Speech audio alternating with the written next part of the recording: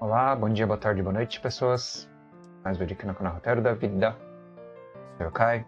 É, vídeo agora, um F, um aforismo filosófico de Star Wars. Terceira temporada, episódio 12. É o episódio 12. E nesse episódio aqui, a frase é uma frase que eu não vou conseguir pronunciar, mas nem que eu queira.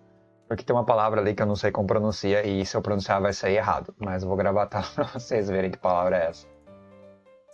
Em inglês é essa aqui, ó, a segunda mesmo. eu não sei pronunciar esse negócio. Então, mas a tradução disso aqui, literal, mais ou menos literal, mais ou menos funcional, é o caminho mais rápido para a destruição é através da vingança. Simples assim. E esse Swift, essa palavra aqui, ela é o caminho mais rápido. Aqui é caminho e aqui é mais rápido. Então, caminho mais rápido. Então, junta aqui. Então é isso. Não vou tentar. Nem pronunciar, nem nada. Não, não, não mesmo. Não quero. Sim, me recuso. Mas a tradução do Legender é exatamente essa. O caminho mais rápido para a destruição é a vingança. Temos aqui alguns conceitos bem interessantes de debater, né? Primeiramente, temos aqui uma, um entendimento específico de caminho, né? Caminho é um tipo de, digamos, é, aquilo que a gente chama, é o nome que a gente dá para o intervalo de tempo ou intervalo de distância entre um ponto e outro. Ponto A a B, ou ponto ímpar a par, ou ponto X a Y, não interessa. O caminho é o percurso. Normalmente ele tem a ver com tempo e espaço. Não desvincula muito isso, né? Agora, a pergunta é: qual é o caminho? Porque uma coisa é você ter o conceito genérico de caminho, a outra coisa é você ter o conceito objetivo de caminho. Não abstrato, mas objetivo. Aí que tá a pergunta: que caminho é esse? Entendeu? E aí ele complementa, entendeu? Das infinidades possíveis de caminho, de caminho, dos infinitos caminhos possíveis, de todos os percursos que você efetivar ou entender ou poder manifestar ou percorrer, vai ser o mais rápido. O mais rápido é aquele que leva menos tempo. Então, aqui tem um percurso de espaço-tempo onde o espaço ele é menor e o tempo ele é menor também. Só que aí varia, porque você pode ter um caminho que seja mais longo e leve menos tempo, porque depende da velocidade. Então, não necessariamente o caminho que é mais curto é o mais rápido, porque ele pode ter mais obstáculos, ele pode ser acidentado, ele pode ter uma estrada praticamente inexistente. Então, você tem que fazer um percurso muito complicado então o ponto é, depende do caminho, qual a qualidade do caminho. Se ele é o mais rápido, ele é realmente melhor? Não necessariamente também, porque você não consegue definir se um caminho ele é positivo ou negativo apenas pela sua dificuldade. Então você pode pensar assim, ah, uma vida sofrida, uma vida cheia de obstáculos, uma vida é, que exige muito esforço, um caminho muito complicado, muito difícil. Ele não quer dizer que ele é ruim. Você pode muito bem estar numa trilha na floresta, aproveitando horrores, exausto, mas se divertindo muito e muito devagar. Porque uma trilha na floresta, quem aqui já andou em Mata Atlântica, quem aqui sabe como é que é difícil andar é, em matas é, que nascem em morros ou em matas fechadas, né, pode ser assim, mas que tem uma, um terreno extremamente ilinear, né? Instável, um terreno muito particular. É muito difícil andar, entendeu? É muito complicado fazer trilha ou mesmo sem trilha. É difícil. Mas, digamos, outros tipos de caminhos. Você vai andar no deserto.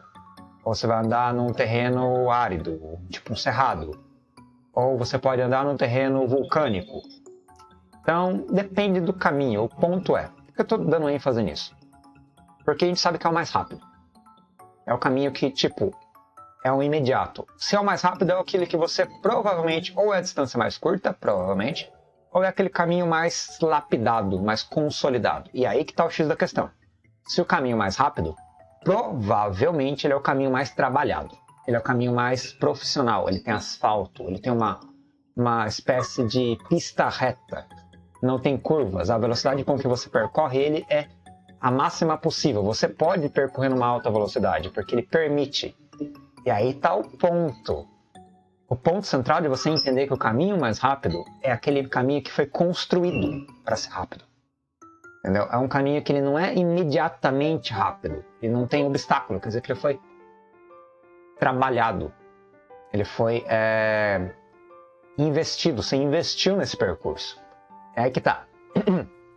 a frase como um todo, vamos voltar na frase como um todo. O caminho mais rápido para a destruição é a vingança. E o que, que você quer fazer nesse caminho? Esse caminho tem um objetivo, o ponto final, o ponto B, o ponto Y, o ponto final dele. O ponto final dele é a destruição. A destruição é simplesmente a mudança de um estado neutro ou positivo para um estado completamente negativo, um estado completamente prejudicial. A destruição ela implica em aniquilação do objetivo. O objetivo ele vai ser não conquistado, o objetivo não vai ser é, cuidado, ele vai ser aniquilado, ele vai ser destroçado, ele vai ser dizimado, dissolvido. E é o ponto. Você tem um percurso, esse percurso é um percurso extremamente rápido, e por ele ser rápido, ele provavelmente é um percurso extremamente construído, cuidado, é, regado, pode dizer regado entre aspas, né? Mas ele é detalhado, ele é esmero, tem muito esmero no percurso, mas só no percurso, ou seja, tem um planejamento estratégico. A destruição, ela tem que ser um efeito de um planejamento estratégico, obrigatoriamente. Se você não consegue planejar estrategicamente, o caminho mais rápido para a destruição é um caminho suicida. E aí é como se você se enfiasse num caminho onde você sabe ou descobre que você não vai vencer. Que a destruição não é o objetivo de você destruir o seu objetivo, mas a destruição é você mesmo que vai cometer suicídio no percurso. Então tem esses dois pontos que é bom lembrar. Primeiro, se o caminho não for bem cuidado, aquele que percorre o caminho é que se destrói. Entendeu? Se o caminho for um caminho bem cuidado, bem, será, mar, margeado, margeado, sim, que consiga se ter uma estrutura bonita, bela, esmer, de esmero, de até de deleite. Nesse caminho, ele vai te propiciar para que o objetivo seja efetivado. O ponto é, o caminho é ferramenta. Se o caminho é mal feito, quer dizer que a estratégia não foi bem feita. Se o caminho ele pode ser rápido, mas ele é rápido e de maneira inadequada, a velocidade que ele te leva é a velocidade onde você se prejudica. Se ele é rápido, mas ao mesmo tempo ele é muito bem bonito, trabalhado, é profissional, é, tem uma engenharia, uma engenhosidade, uma genialidade no percurso, aí a destruição não necessariamente, com grande quase certeza, não é sua, a destruição é do seu objetivo, ou seja, você consegue efetivar o objetivo. E qual é o objetivo? A vingança caminho mais rápido para a destruição é a vingança. Ou seja, quando você quiser destruir alguma coisa, você tem que ter um espírito vingativo. O que é o espírito vingativo? O espírito vingativo é o espírito de destruição no sentido que você sofreu violência antes.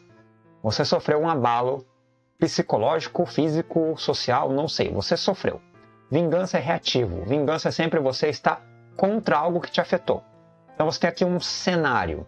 O cenário é: eu me machuquei ou eu fui agredido, ou eu fui violentado, eu fui é, perturbado, eu sofri alguma coisa.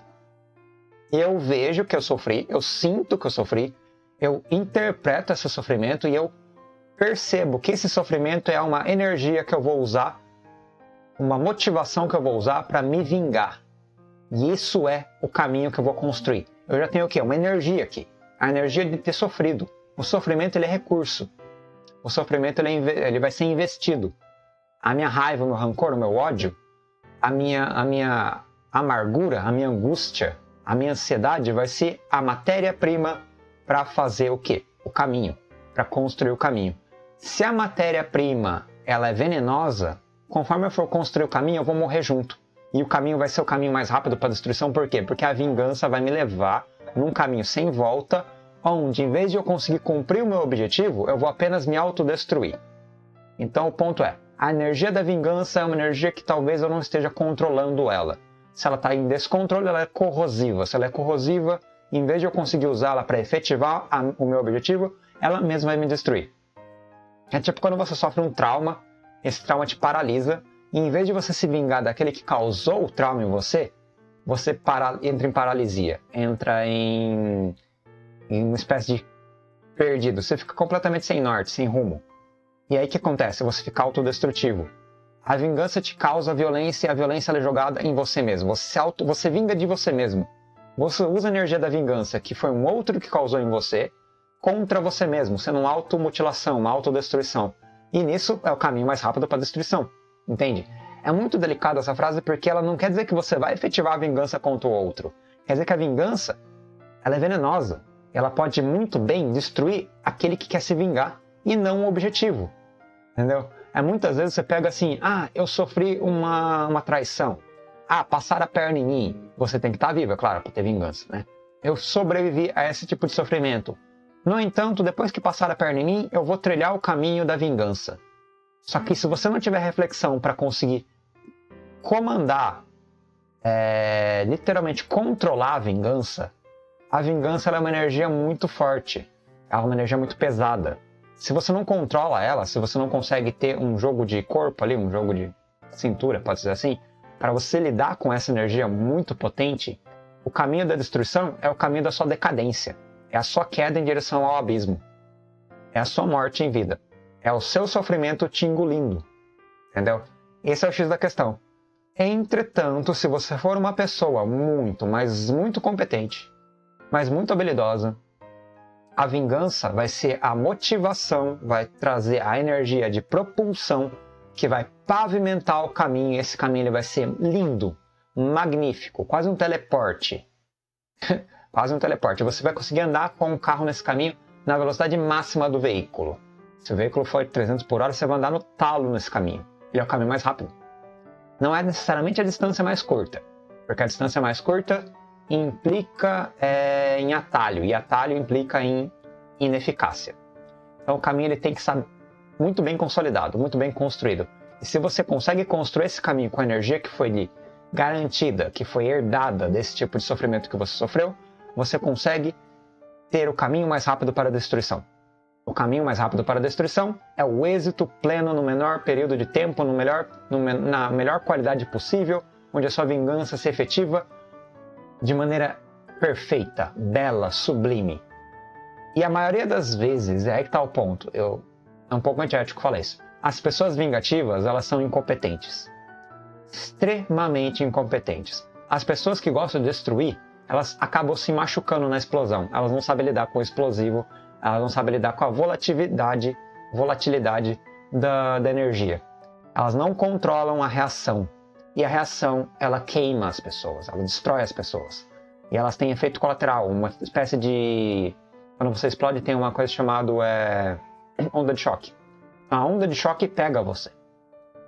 A vingança é frágil.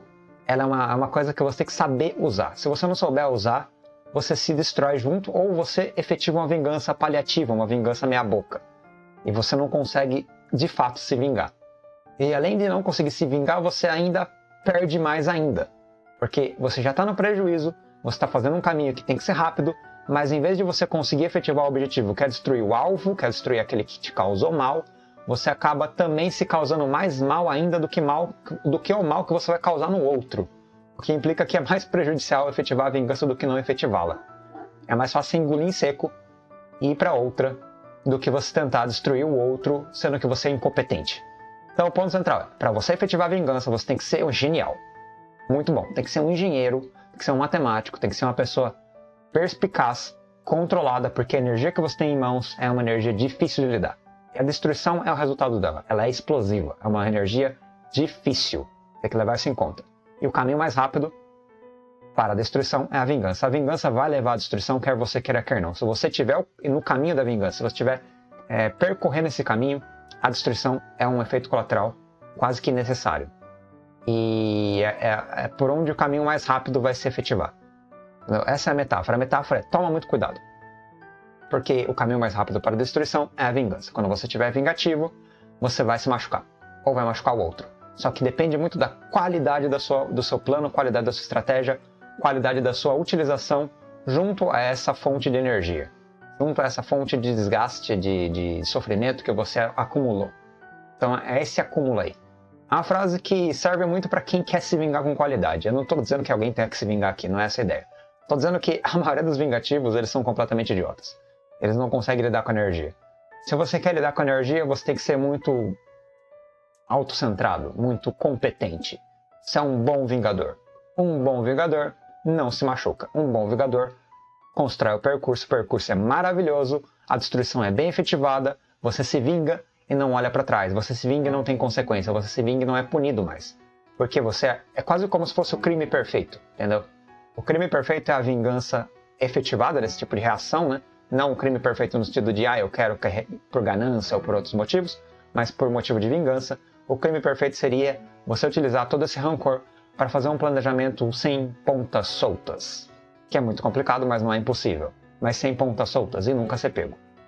Então, essa é a moral da história. Eu tô indo para um lado um pouco mais negativo, psicótico aqui. Talvez não devia ter falado tantas coisas ruins, mas a ideia é essa, entendeu?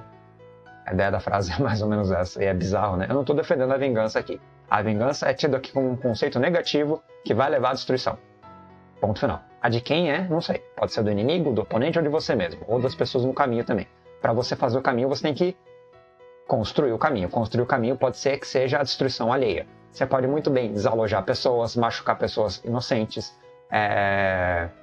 sei lá, mutilar amigos, mutilar pessoas que você gosta, porque o caminho ele é um caminho violento, puramente violento. E a violência ela vai gerar todo tipo de catástrofe no percurso. Então é uma coisa complicada. E é isso. É mais denso ainda essa frase quando eu começo a pensar nos contextos da aplicação do caminho. Mas eu não vou trabalhar muito mais que isso, porque senão eu não acabo de falar e ter que terminar logo, porque o vídeo ficar muito longo. Então, mas você pode pensar assim nas consequências amplas, nas circunstâncias amplas do caminho sendo construído. E o quanto aquele que está investindo na vingança está moldando a sua realidade e as suas relações sociais em direção a cumprir esse objetivo. E o quanto isso tem de consequências e de, enfim, é, de construção da realidade desse indivíduo, né? Como esse indivíduo constrói a sua própria realidade motivado por essa, por essa energia. Mas é isso, pessoas. Obrigado por me ouvirem. É, perdão, ficou muito longo o vídeo, mas é um, uma frase divertida, embora seja extremamente violenta. Mas é isso aí. Falou, Zé, até mais.